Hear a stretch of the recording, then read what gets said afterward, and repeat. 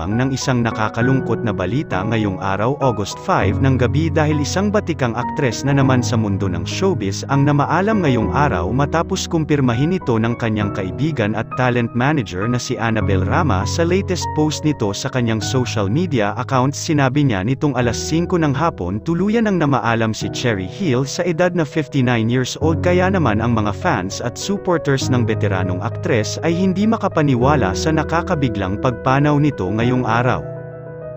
Si Evangeline Rose Hill Eigenman sa kanyang tunay na pangalan or mas kilala nga sa tawag na Cherry Hill ay isang batikang aktres sa Pilipinas kung saan nakilala siya bilang isa sa mga magagaling na kontrabida sa mundo ng Philippine showbiz. Maraming characters sa teleserye at movie ang kanyang binigyan ng buhay kaya naman ang mga nagawa niya ay hindi matatawaran dahil nakilala siya ng lahat bilang mahusay na kontrabida. Ayon sa post ni Annabel Rama na humuhingi ito ng panalangin para sa namayapang kaibigan na si Cherry Hill gayon din kinumpirma din ito ni Senyora sa kanyang post sa official Facebook account kung saan isa daw ito sa mga paborito niyang actress at kontrabida.